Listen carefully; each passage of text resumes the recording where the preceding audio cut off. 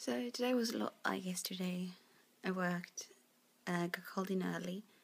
We had this cup, um, handball cup going on at my work, so there's a lot of people and a lot of things needed to be done. And the girl overslept this morning, so I got called in at eight.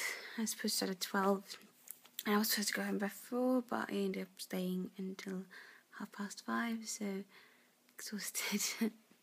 And then went and fixed tickets for Iron Man because my friends are coming here for my birthday and we're going to see Iron Man together. So I've got 12 tickets, that was a lot of tickets. Um, and then I pretty much went home, and watched Doctor Who. It's really good.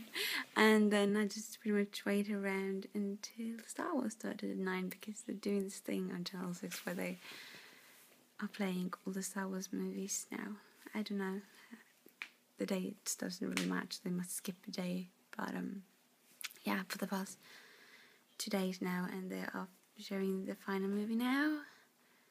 And I don't really know when they're showing the next one. Uh, unimportant events there. No, but I um, I intended to make a better video, but just like yesterday, I'm just so ridiculously exhausted. I could probably pass out here and sleep until tomorrow.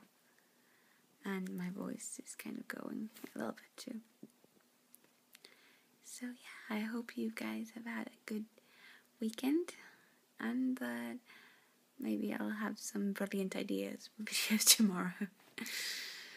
It's hoping